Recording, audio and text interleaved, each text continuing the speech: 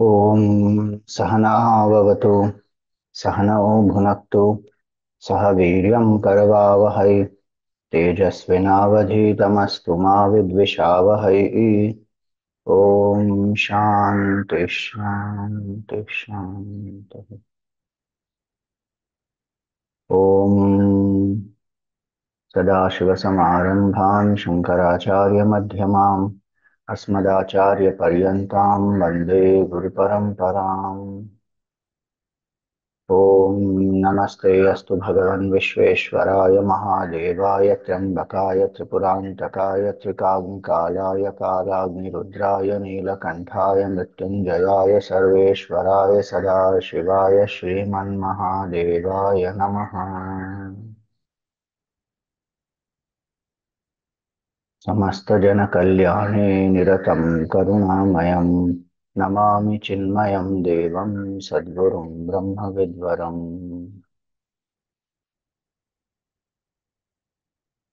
Hari Om. Salutations to all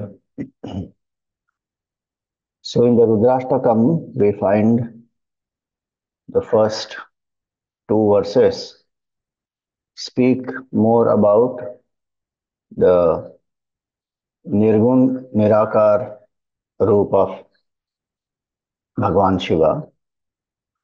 Third and fourth verse, we see that the form of Bhagwan is described.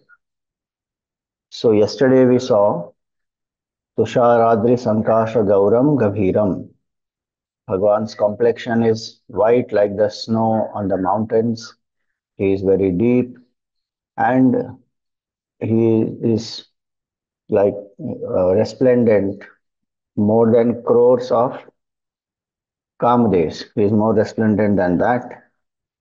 And he has Gangaji on his uh, jata.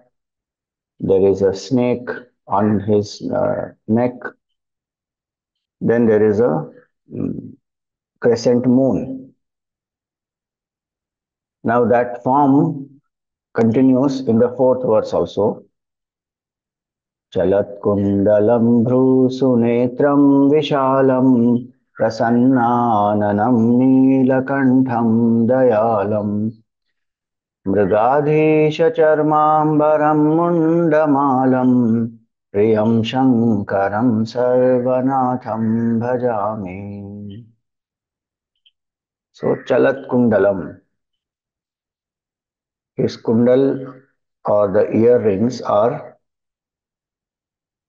they are moving, they are shaking. Chalat Kundalam.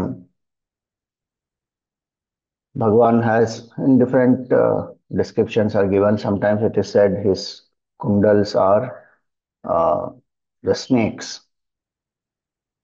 Then sometimes it is Rudraksha, sometimes it is some uh, metal ornament. So different places, different expressions are there. So Chalat Kundalam, Bhru, his eyebrows are beautiful, wide, long. So Sunetram Vishalam, and his eyes also are big eyes, lotus like lotus petals like that. So Chalat Kundalam Bhru Sunetram Vishalam. So what is the deeper meaning here? So how uh, effortlessly we can move the brows. It doesn't require too much effort for it. Just if you want to move one by one by its, uh, you know, only move the one eyebrow and not move the other one, yes, that may take some effort, but otherwise you have to just move the eyebrows effortlessly. And so it is said that the whole Srishti, Sthiti, Samhara, the creation, sustenance, destruction, all this happens as effortlessly by Bhagavan as moving the eyebrow. So, Bhru, eyebrows. So, one is just a description of eyebrows that yes, Bhagavan has eyebrows. but otherwise it means it's called Bhrikuti Vilas.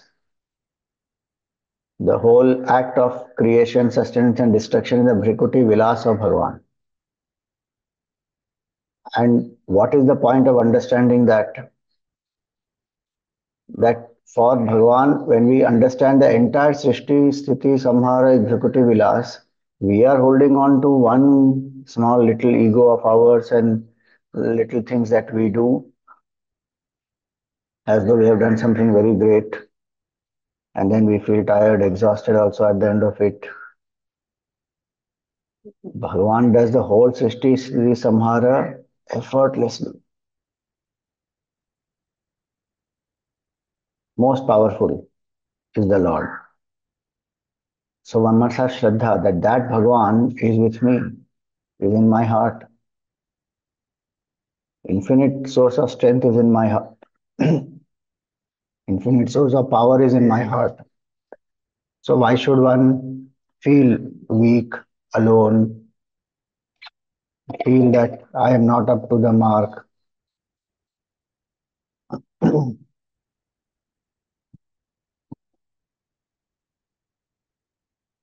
so that is Bhru. Then Chalat Kundalam. So if you see actually Bhagwan's full form, there are quite a few things moving. You know, the more we think about it, you you you try. Have something moving on your body. How weird it will feel. Continuously something is moving on the body. You know, Bhagwan's hair on the head, there is Gangaji flowing, continuous movement is there. There are snakes around on the neck. Neck also snakes are there, here also snakes are there. So if something is moving, amidst all that movement, he is sitting steadily and still. There is no disturbance in the mind. Steady contemplation, absorption in the truth. So being steadfast amidst whatever changes happen. That is the quality indicated. Chalat Kundalam. Bhru Sunetram, very vast eyes Bhagavan has. So eyes represent the vision. So what we see physically is one aspect. But what is our vision? Yesterday we saw that Bhagavan is Gabhiram, so the vision of compassion, the vision of oneness, that all this is divine, that vision. So though the eyes are two, and only the physical description is given that the eyes are vast, um, the big eyes Bhagavan has. The point to understand is Bhagavan sees everyone with the vision of equality. There is no superiority, there is no inferiority, because all are one. Like the vision that we have, there are different parts of the body, but we feel all this is me. So no part of the body is inferior for us. You know, Gurudev used to joke that if I ask you that where I should I poke the pin in this body, you will go through the whole body saying, no, no, not in the head, not in the neck, not in the hands, not in the stomach, not in the leg, nowhere. So, no, no, don't poke my pin. No, don't poke the pin anywhere in my body. If at all you have to poke, you poke it to the neighbor. Why? Because that is not me. So, identification is with the full body. Though there is diversity, there are different parts and different things they are doing, their functions are different. But the vision is, I am one. This is me. That vision one has for the whole world, that the entire Srishti is me alone. That is the Advaitic vision. So, Bhru means that, Vishala Netram means that. Chalat Kundalam, Bhru, Sunetram, Vishalam. Then, Prasannananam. Bhagavan is Prasanna. He is not cribbing, complaining, grumbling, sad, depressed, anxious, worried, stressed, tensed, nothing. Prasannananam. On his face, there is so much of joy, happiness that is reflecting. Why? Because it is the inner joy. Bhagavan is absorbed in the absolute truth, Satchidananda Swarupa. So one who is Ananda Swarupa, it will reflect in actions, in the expressions, in the speech, on the face, in the body language. Prasannanam. If I am a devotee of Bhagavan, if I am walking the spiritual path, then I should be like this, Prasannanam. Otherwise, even following spirituality, one feels so uh, as though burdened by life, troubled by life. Yes, there is challenge, there are there are challenges, there are problems, no doubt, but we can still be prasannanam when we have this anchoring in spiritual knowledge. In fact, that's the one of the signs of progress of spiritual knowledge is that that even when things go wrong, how much is my balance, how much is my strength to uh, deal with it without feeling overwhelmed, and how much can I remain happy?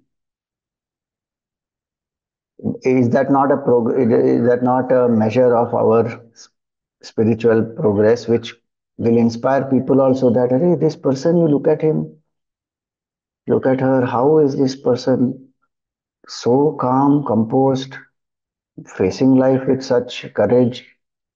Is he happy. Nothing to crib and complain and worry and gossip and stress and none of that. I also want to be like this. So, spiritual knowledge should give us that ability to face life boldly, courageously, confidently, and be calm in and through all disturbances then one has one has anchored well. How was Prahlad ji in this whole episode of Hiranyakashipu and how he was trying to kill him? You look at so many saints. Mirabai was given poison. Tukaram ji was insulted so much and his entire pothi, whatever abhangs, so many beautiful things he has written, they have put it in the river. Brahmana, so jealous, took the whole thing, put it in the river. Calm, no problem. The river brought it up fully. Eknath Maharaj, people went, that one person went and spat on him so many times. No reaction. Sattva guna is like that. Rasannam. This is the joy born not out of contact with sense objects. Vishayendriya Sanyogad. It is not that. It is the joy of the self. Prasannananam. It can be the joy of devotion when we serve Bhagavan. The simple principle of happiness is put aside the ego. That's all when we see a glorious sunrise or beautiful river is flowing or you know birds are flying chirping anything in nature we see something beautiful glorious divine then we feel so exalted uplifted because for that moment we have put aside the ego this can happen with so many things for someone music one is so absorbed in music one forgets oneself one feels joy. Bhagwan, uh, no identification with BMI. Free from ego, very happy. Somebody gave the nice acronym of ego. Ego means what? Edging goodness out. So if ego is there, goodness is not there. Goodness is not there, happiness is not there. Simple formula. Goodness equal to happiness. That is Sattva Guna. Cunningness is equal to sorrow. Today in Kali Yuga, that equation is ulta. Cunningness equal to happiness, goodness equal to sorrow is what we think. But the universal principles apply at all times, they remain the same. Goodness is happiness. Cunningness will only bring sorrow, insecurity, misery. So, prasannananam. Then, prasannananam, neelakantham dayalam. So, Neelakantha, Bhagwan has the blue neck. So, yesterday we saw that how Bhagwan sent Vasuki for the churning of the ocean. And when the ocean was being churned by the Devatas and Asuras, then the poison comes out. Halahal vish comes out. Vasuki also is spitting it out. And that poison, the very fumes of that are dangerous and people are uh, fainting, unconscious. And they all run to Shivji saying, please help us. And so Shivji takes the poison, drinks it, and it is said Mother Parvati holds his neck, so it remains here, becomes his ornament. So that poison, Neelakantham, symbol of Bhagwan's compassion. And you see how the Devatas they go to Bhagwan when there is a problem and Bhagwan helps them. Bhagwan doesn't say, What will you give me in return? Why should I do this for you? He helps them. Because Prasannananam, who is very blissful, doesn't need anything for happiness and very selfless. So goodness is there, happiness is there, selflessness is there. He served, took the poison. When the Amrit came out, they don't go to Bhagwan. They don't give it to Bhagwan saying, You helped us at that time. So, that is the mindset of the world. The world will be like that. The good person who's anchored within doesn't even bother, doesn't say that these people so ungrateful, next time I will not even help them. One's nature is to help, one will do. Of course, if they do something adharmic, then one is not going to support them. But otherwise, one does it out of the joy of seva, out of the joy of oneness. You know, Gurudev used to give the same example of the body, and he would say that if the calf is scratching, then the hands go and scratch at the calf.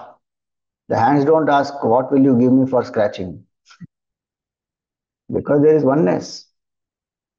The mother doesn't ask the child, What will you give me in return? I am giving birth to you.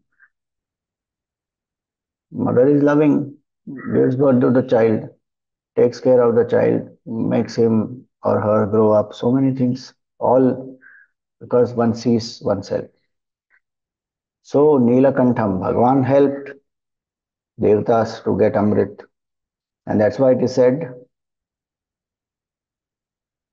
अमृत पीकर जो अमर हैं वो है देव विष पीकर भी जो अमर हैं वो है Mahadev Bhagwan is immortal even after taking vish, poison in his head, in his neck. And he is holding it. You try holding little saliva in the mouth. it's not easy to hold. It keeps coming, then one feels what to do now. One has to swallow. In the mouth, I am saying here, if Bhagavan is holding that in his neck, he drank it and it's there in the neck. So, Bhagavan holds that poison, symbolic of his compassion and uh, selfless service and no craving for recognition. Such beautiful qualities these are. When we think of Bhagavan, when we contemplate on the form, we internalize these qualities. That may we serve the society selflessly out of the feeling of oneness. Nobody is doing any favor to anybody. We are not helping somebody out there who is different from us. We are helping ourselves only. Same thing, we are not If we hurt somebody, we are not hurting anybody else, we are hurting ourselves, just that we don't know that. So, that vision of oneness, any seva that we do also will be uh, full of joy when we have this vision of oneness. Otherwise, what happens in seva also, I need recognition, I need praise, I have likes and dislikes, I prefer to work with some people, I don't like some people. Then where is seva in that?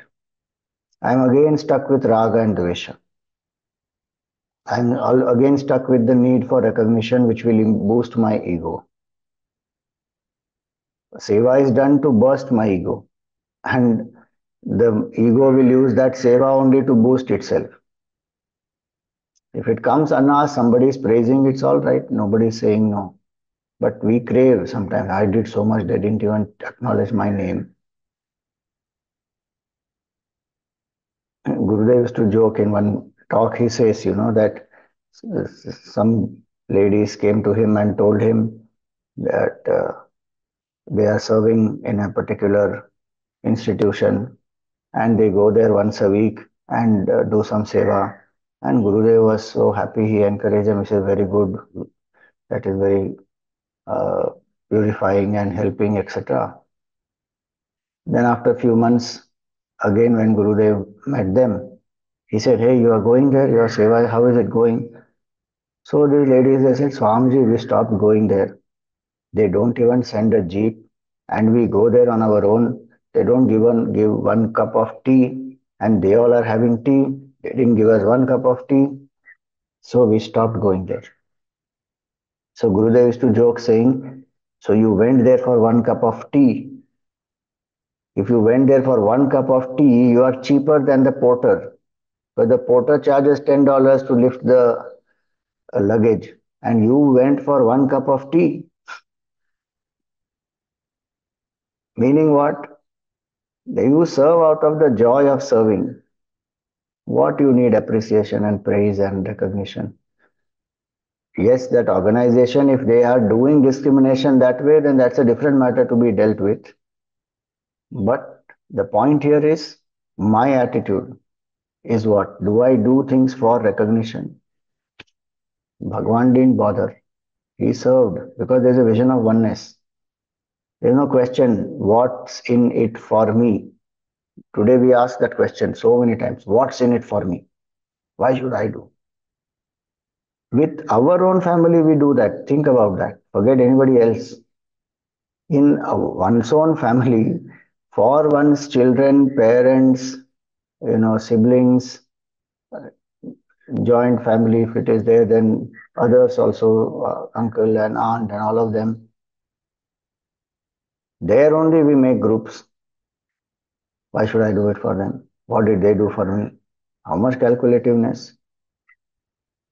So, Neelakantham, Dayalam, full of compassion. Bhagwan's compassion only, we get opportunities for satsang. If we go, if Bhagwan gave only the karma phala to us, we would never get satsang only. He is most compassionate. Even when he punishes, it is with compassion only. He doesn't want the jiva to suffer. Why? Because jiva is him only in another form. Even if he kills, he kills with compassion. He gives mukti to the demon who has got killed asura who has got killed. So, Dayalam, most compassionate, kind, good, selfless, having the vision of oneness. So, if you go by the, the words there, Bhrush Sunetram Vishalam, one who has the vision of oneness, who has large eyes, who sees everyone with that attitude of oneness, automatically Prasannananam Neelakantham, Dayalam happens. You will see this in all great masters also. Gurudev also saw everyone with the vision of oneness. So, Prasannananam lives in happiness. No matter what is the condition of the body, mind, intellect, he is living in happiness. Neelakantham, how many people cursed him for talking in English in the initial stages. and uh, giving this knowledge to everybody without any barrier of caste, creed, community, gender, nationality, language. He gave freely to all. And very compassionate. So many times working with a master like Gurudev whose standards are so high, whose level of uh, motive, inspiration, whose commitment unprecedented, exemplary. And uh, where, where are we? Where is he? We will keep making mistakes, so many mistakes. Compassionately taking along, making us grow.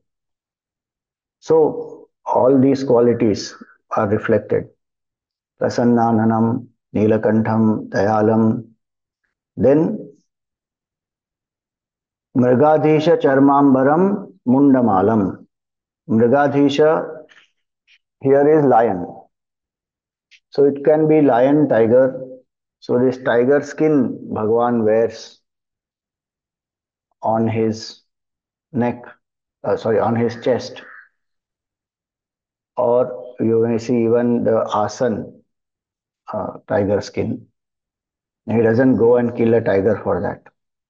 Some of the animal right activists, they may say, what is this? One should be compassionate. A tiger, how the tiger skin uh, Bhagwan came to use, there's a story, we will come to that. So, uh, Nagadisha Charmambaram, tiger is symbol of aggression, Rajoguna.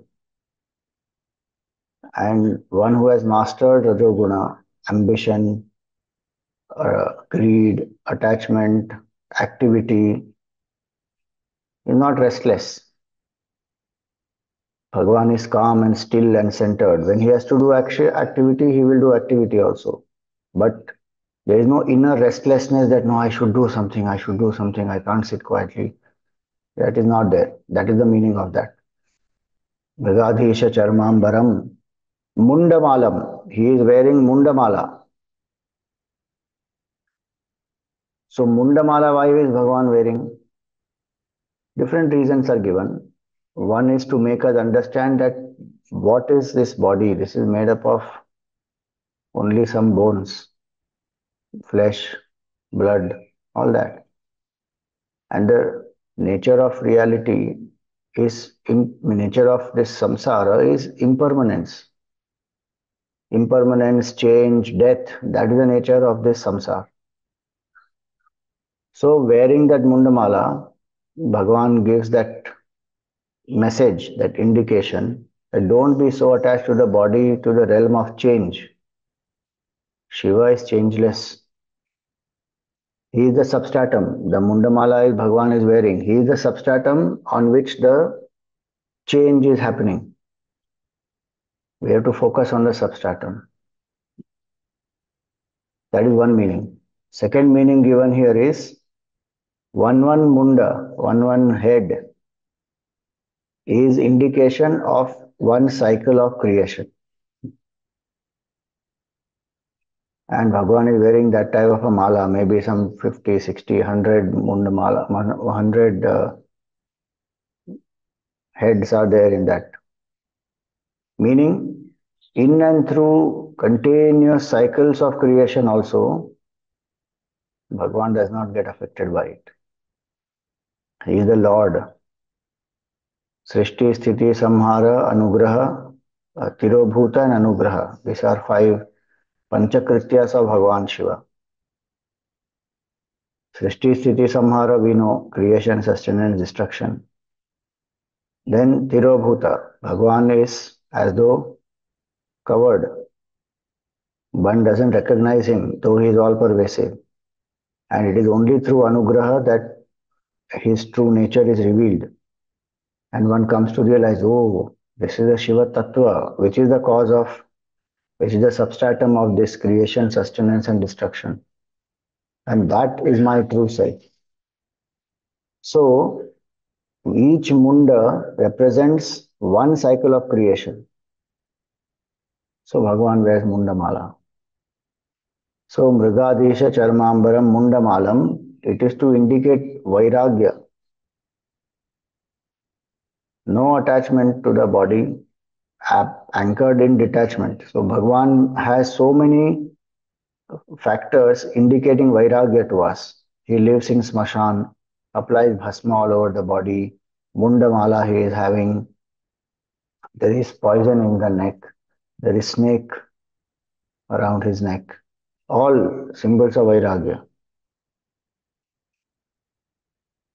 Even the um, Mrigadhisha Charmambaram, the tiger skin that Bhagwan is wearing is also symbol of Vairagya only. Why? Because when there is Vairagya, one is able to sit quietly. When the mind has no Vairagya, it has delusion, it is craving for sense pleasure, it will run here and there. That mind, even in meditation, why does our mind wander? Because Vairagya is lacking. Bhakti is lacking. So the more Vairagya one has, the more the mind will be quiet, steady, contemplative, and prasannananam, absorbed in the truth. Fearless. Mundamala also signifies fearlessness and immortality. Bhagwan is wearing Mundamala, he is not affected by death and destruction. Mrityunjaya he is. So many different things about Mundamala. So मृगादेश चर्माबरम मुंडमालम then प्रियम शंकरम सर्वनाथम भजामी Bhagwan is very loving Priyam and he is loved by his devotees प्रियम शंकरम so शम करोती Shankar one who is auspicious is Shankara. One who brings auspiciousness also is Shankara. Sham Karayati iti Shankara.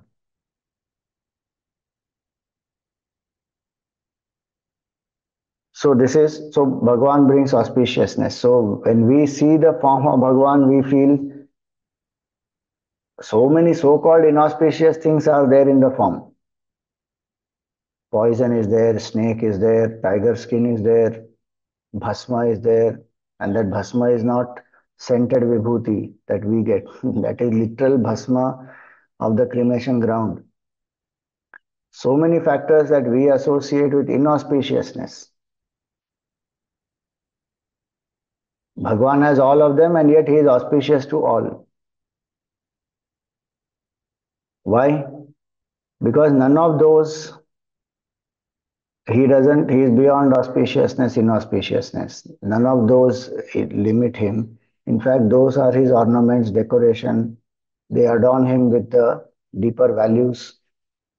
And so Bhagwan is anchored in all of those, brings auspiciousness to all. Priyam. Shankaram. He is loving, he is compassionate. You see in this one shloka how many beautiful qualities. He is Priyam, loving. Shankaram brings auspiciousness. Dayalam, very compassionate.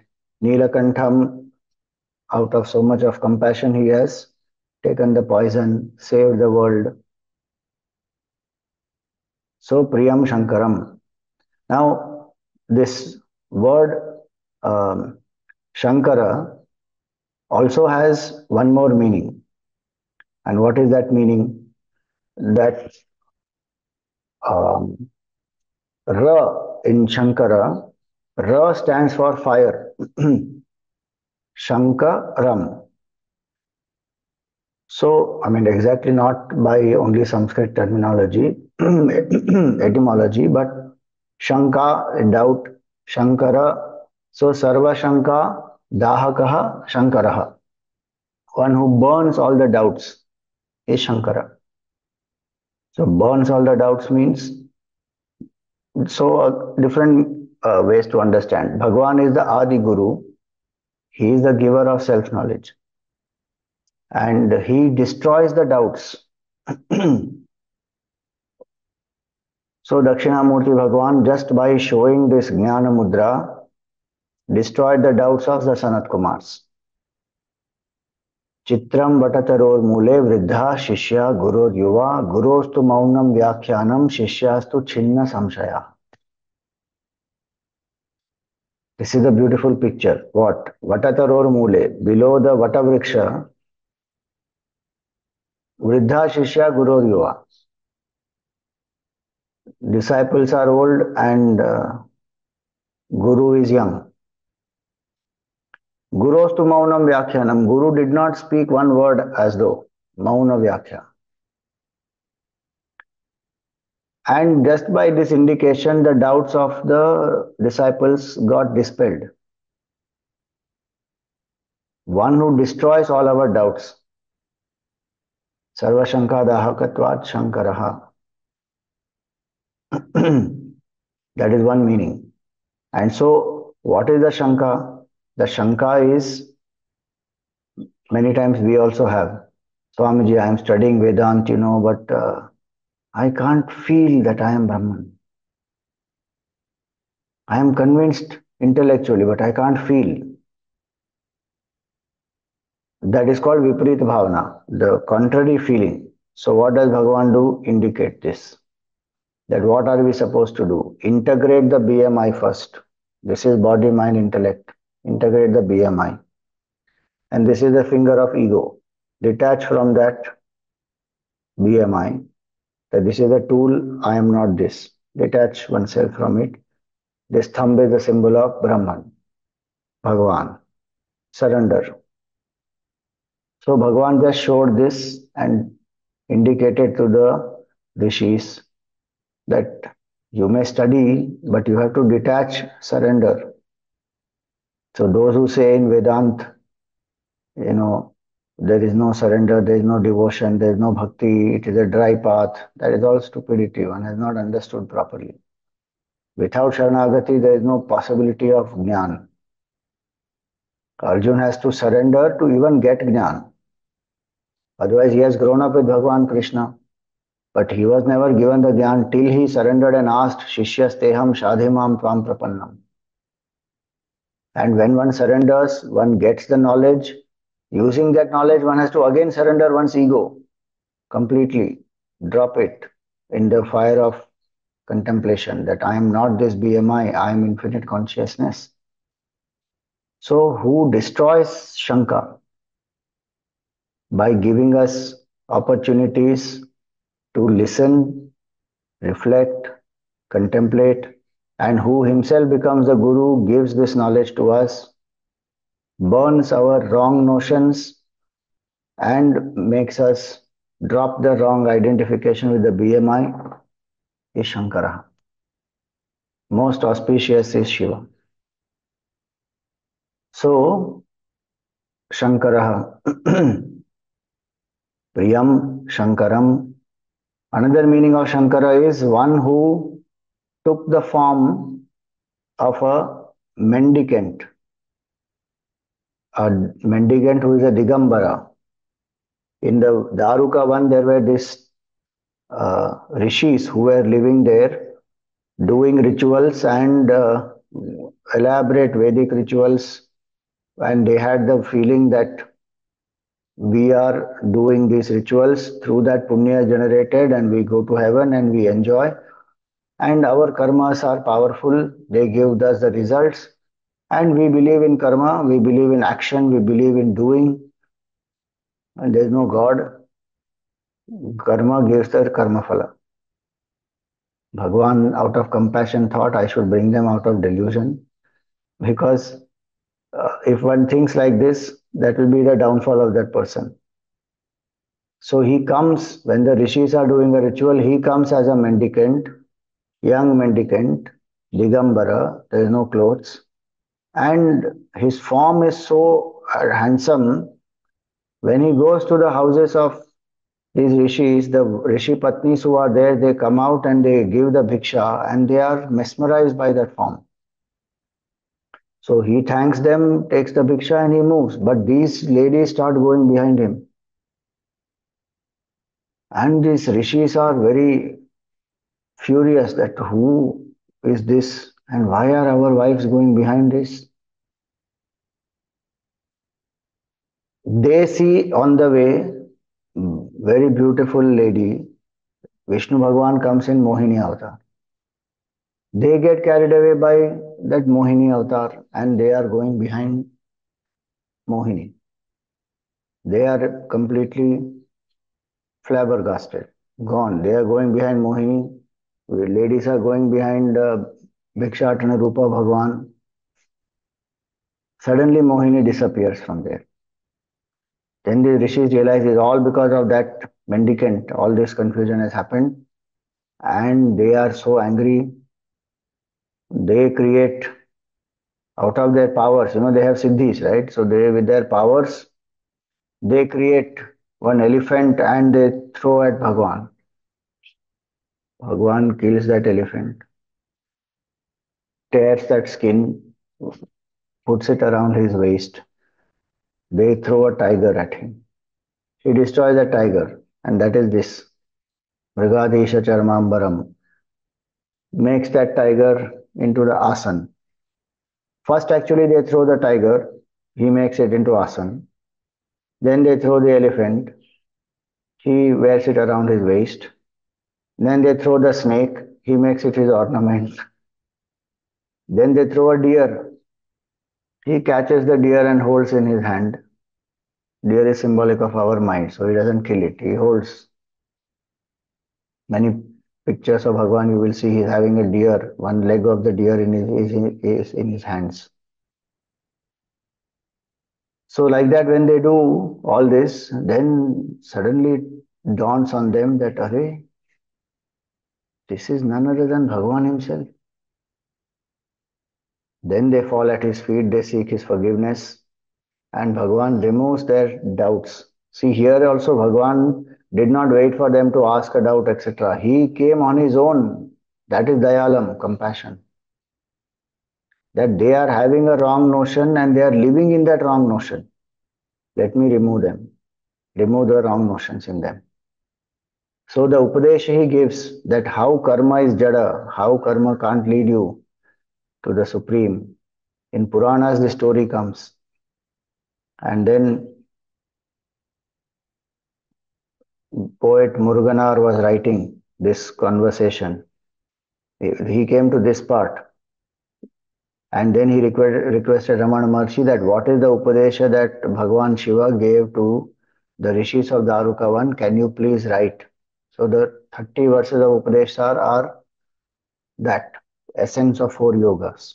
In that he starts with that Karturagnaya prapyate phalam karma kim param karma tajjadam. That how is it that karma is supreme?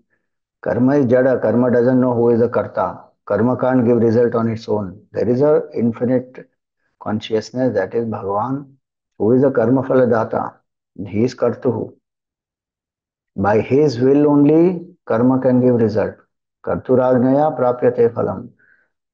So those who believe work is everything, where is God, which God, I don't believe in God. How is your work producing result? The laws in the universe are not supreme. Jiva is not supreme. Body is not supreme.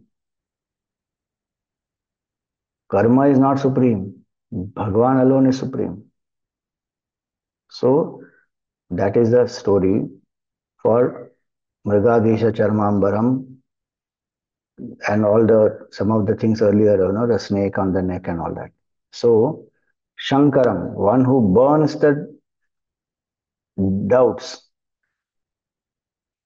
Once you burn it, it is reduced to ashes, destroyed. So Shankara is like that. Bhagavan who destroys becomes the Guru, comes to our life, removes all our sorrows, all our doubts. Priyam Shankaram Sarvanatham Bhajami. He is the Lord of all the beings. I worship that Lord. So that is a beautiful shloka which we will contemplate on today.